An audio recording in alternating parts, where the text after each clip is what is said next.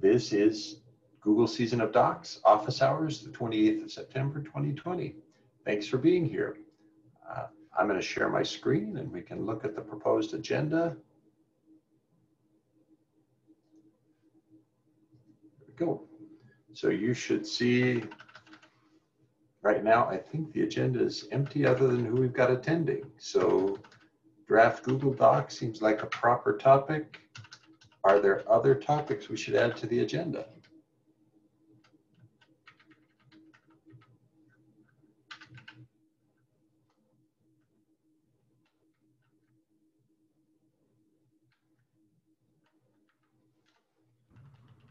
Oleg had asked about incremental um, delivery of parts into segments, a larger structure. Oh, I do have a topic to add as well. Go ahead, Mark. And and this is the transfer of org admin for Google Summer of Docs. I have an update for that. Ah, oh, good, okay. Excellent, thanks.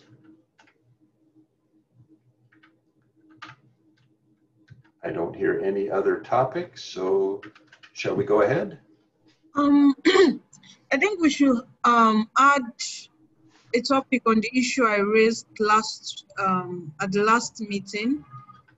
Mikey was not around, so yeah. Oh, oh, the service account issue is that is that Yeah. this one, Zainab? Yes.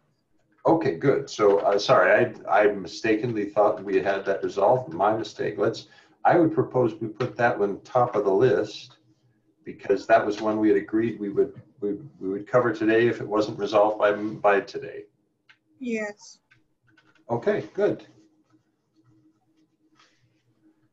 All right, so, so then let's take this one as the first topic.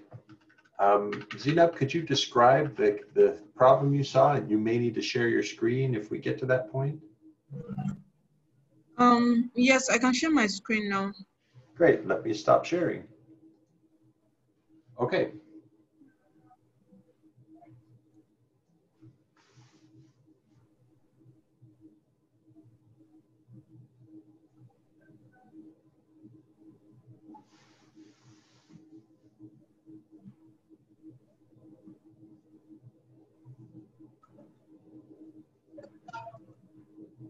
Um. Okay, It says that it started screen sharing, not quite visible yet. Okay. Ah, there we go. Now I see it. Nice IDE. Uh, Visual Studio Code, maybe?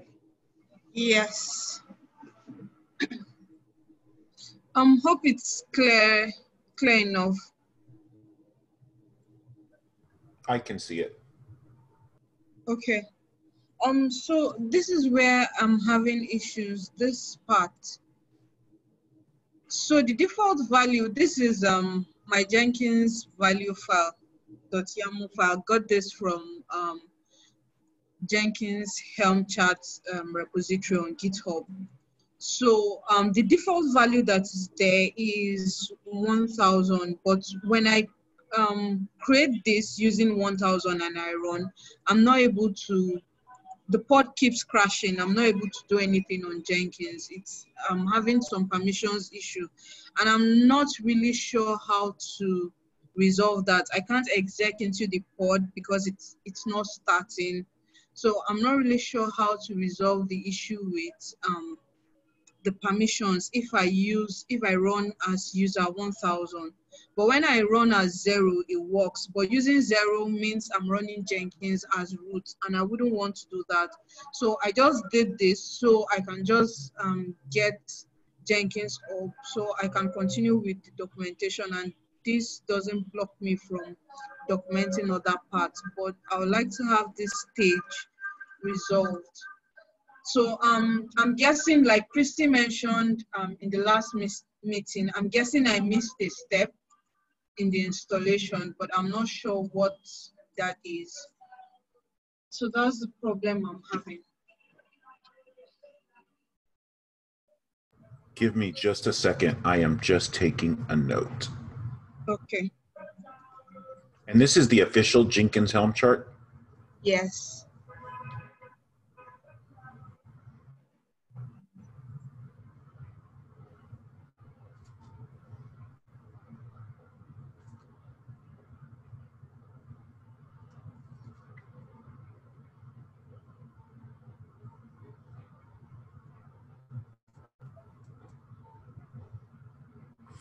So just so I'm clear, you're saying when you run it as user 1000, it does Yes. not work. Yes.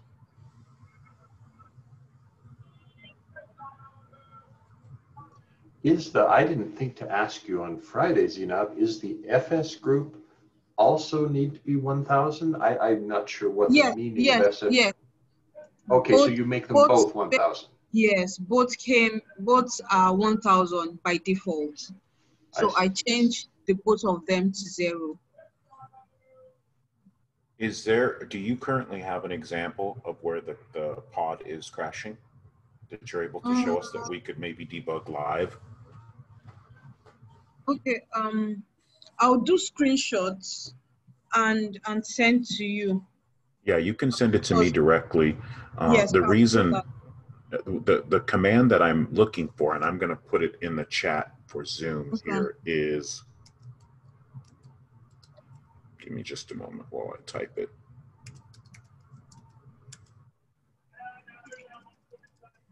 This is in the Jenkins namespace, correct?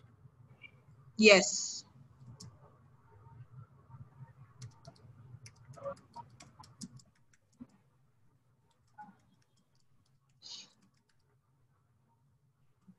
Okay, that's one. I am going to need another one as well.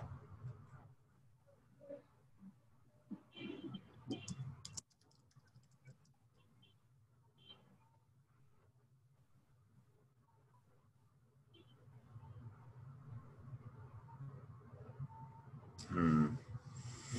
Describe pod. Can you scroll up on your Jenkins values.yaml? Scroll Okay. to line one.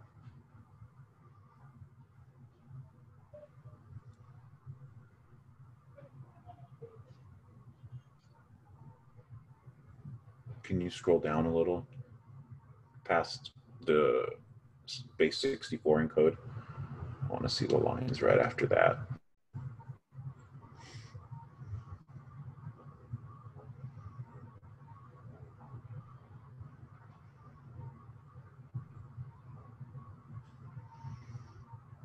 And scroll down about 10 more lines.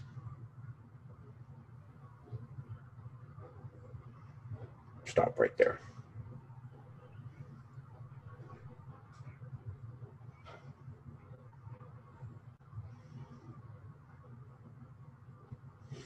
And you put the service account in that we discussed last week, correct? Yes, I. Yes. Can you show me that? Uh, can you show me that YAML? Okay.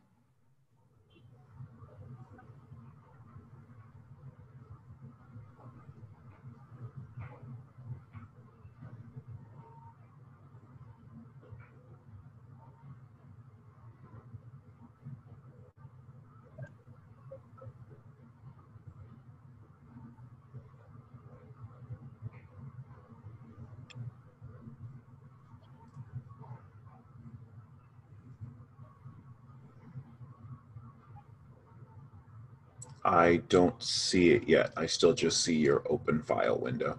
Yeah. Okay, this is it.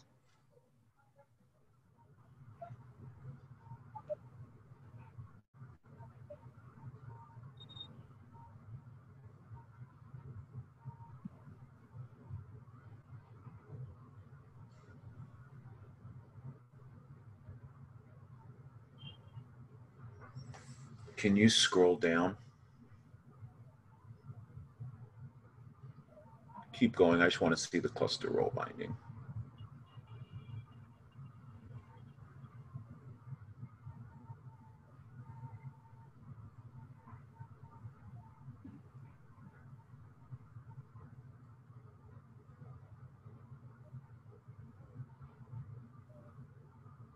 scroll back up to the cluster uh, cluster role. I want to just see what uh, verbs are in there.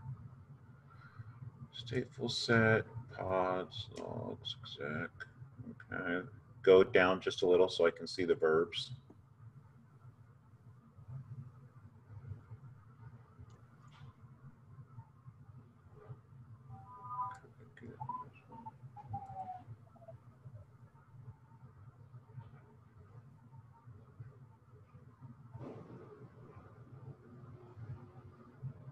Wow. Okay, that's really weird. I'm gonna have to look into that because this should, by just my initial looks at it, this should actually work. Uh, so let me let me look into that, and I will get you an update. Okay, I'll also do the screenshots and send to you to give more Yeah. context. Yeah, that'll that'll be great. Thank you very much. Okay. So you can put that as an action item for me, Mark, uh, on the list if you'd like.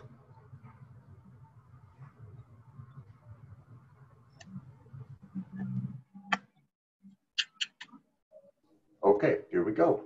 Sharing my screen again. And. Okay, so, so give, me it was.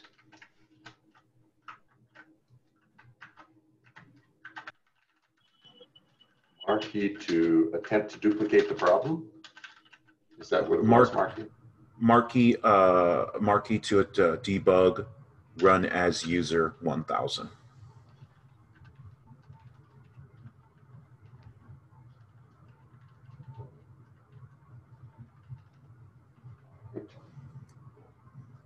I'll start looking into that once we're done with this call.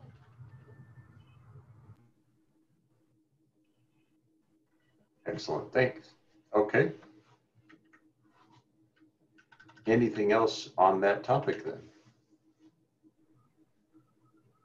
No, nothing else.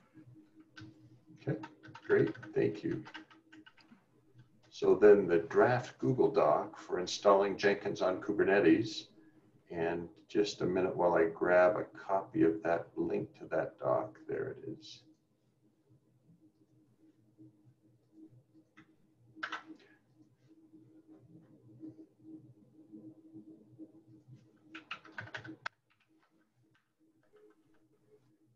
All right, so Zainab, uh, I think you've seen Kristen's feedback. Yes. I added a couple of minor items. okay. I'm going to be reviewing that. It's on my list of to do this morning. Okay.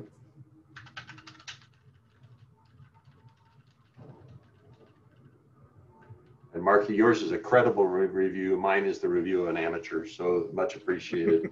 I started, I started executing the steps, bumped into something that I didn't quite understand what the failure mode was and have to do some more exploring. Yeah, I'll take a look at it. That's it's on my list. Okay, great. And did you have any specific topics you wanted to bring to us with regard to it, Zainab? Anything in detail where you say, oh, I'd like to talk about this or this? Sorry, I didn't get that. Anything about the installing Jenkins on Kubernetes document that you would like to review with us specifically while we're on the call? Um, not really. Um, the only discussion I would have loved to have is um, there's some comments Christine dropped about the structure of um, the documentation, and I understood what she was saying, but um, I also structured it this way with um, the location is going to be in, in jenkins.io. Since there's already a heading installing um, Jenkins in jenkins.io, so this is just going to be like a section of that page. Right, okay, so I think her concern is addressed by exactly what you said. So that's very good because you're going to integrate it into this page for Right. installing, is that correct? Yes, exactly. So it's going to be um, under the installation part from Ku- Kubernetes. Yeah, so just like we have a Docker section today, Yes. we will have a, we will have a Kubernetes section that Um, part of this broader document. Yes, so under the Kubernetes session, we're now going to have different um, options for installing um, Jenkins on Kubernetes. Got it. Okay. So that makes sense. I'm going to just embed a copy of that into the link. Good. Very good. Okay, and and I had one on this uh, just capitalization because Linux users like me have a case sensitive set of commands. Okay. Good. Any other questions or topic? No, none for now. Okay. All right, then Oleg had raised a question about incremental delivery of segments into a larger structure. Zainab, um, what are your thoughts on that? Do you see how it could work, etc.? I I don't really understand what this what this means.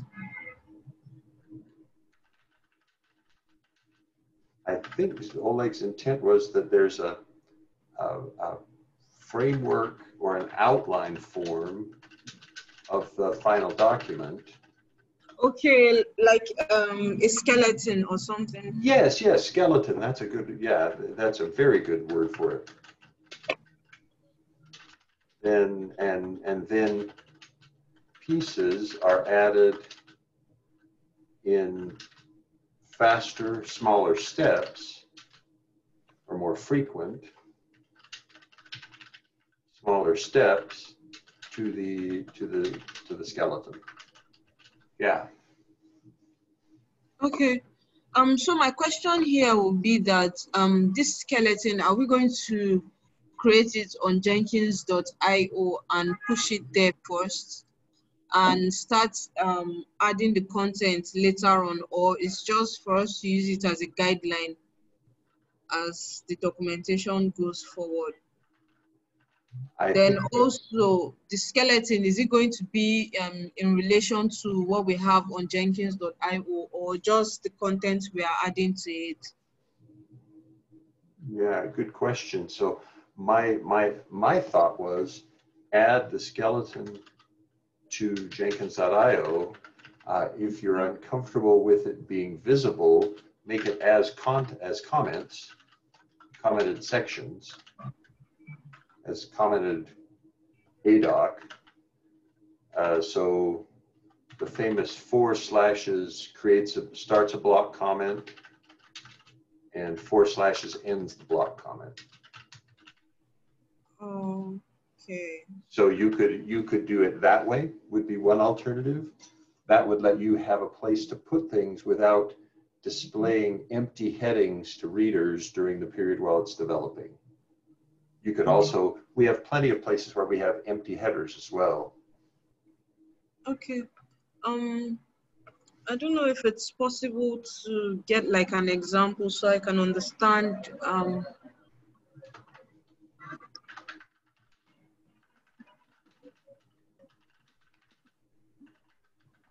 Uh, yeah, good question. Let's see. Marky, are there any places you can think of where we might already have an example that we could use to highlight this? Mm. I don't know of know of any off offhand myself, but we might be able to find some. Yeah, I can't think of any. We've certainly got plenty. We've got many places where the, the, the content says this is a work in progress. So um, maybe that's what we should get as examples and say, look, here's here's how we've we've got this this section of material that is identified as a work in progress. Here's how it was done. Okay. Okay. Actually, maybe let's while we're here, maybe we can avoid the leaving the action item open. You okay if I just look really quickly for for a, a sample? So if I recall correctly, system administration was a pretty common place to have Yeah, so, okay, so here's, here's one example. The Oh, backing up and restoring Jenkins says right now that it's a work in progress. But, and monitoring Jenkins also says it's under development. And secure, yeah, good. So these, these pages give us some indicator of, hey, there's, they're part of a bigger section, but they say, look, this is under, this is under development. okay, okay, okay. So does that, does that help you, Zainab? Is that Yes. sufficient? Okay, all right. Yes, so it does.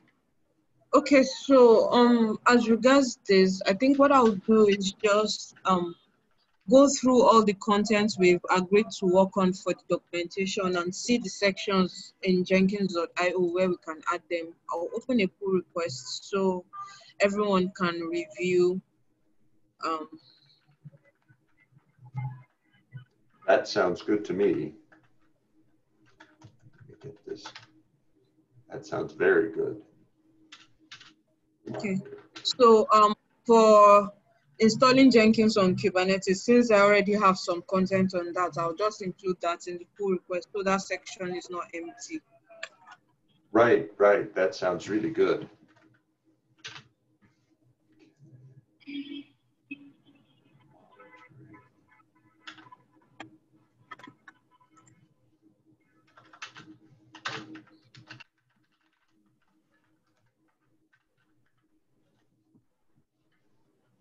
Okay. So anything else on the, the incremental delivery idea? That, any other clarification you'd like to request, Zainab? No, it's, it's clear. Okay.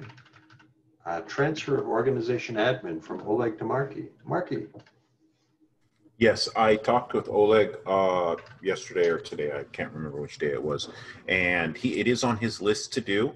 Uh, so hopefully he'll be doing that within the next day or so. And Great. also And to that's add me as, something- that's as a something mentor. he has to, okay, all right. uh, Marky That's something he has to initiate. Certainly it's nothing that they would accept you saying, I want to be the new org admin, take him off. Yeah. He ha- Yeah, okay. that He makes just has to list me as one, and then we'll remove him as the third, and then they'll just be two. Ah, got it. All right.